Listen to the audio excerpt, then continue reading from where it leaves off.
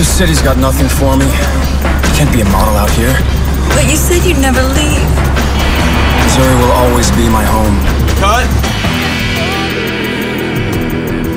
I'm actually from Kansas. The modeling part's true. I moved to New York when I was 15. My first shoot was for Teen Vogue, and then I did Abercrombie after that. It's always weird having a camera in front of your face. It really helped me with getting into acting because it helped me get comfortable in front of a camera.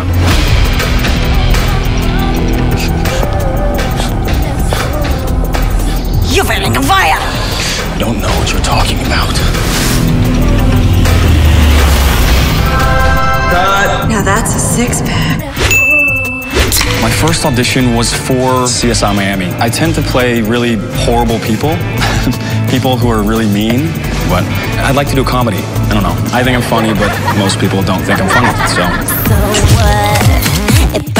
The difference between acting and modeling is with acting, you get to show your range. Like a model on the runway, down me. That was modeling. I will always love you! That was acting.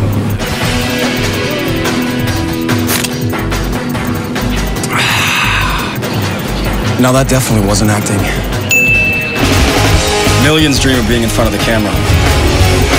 Some get their face on billboards.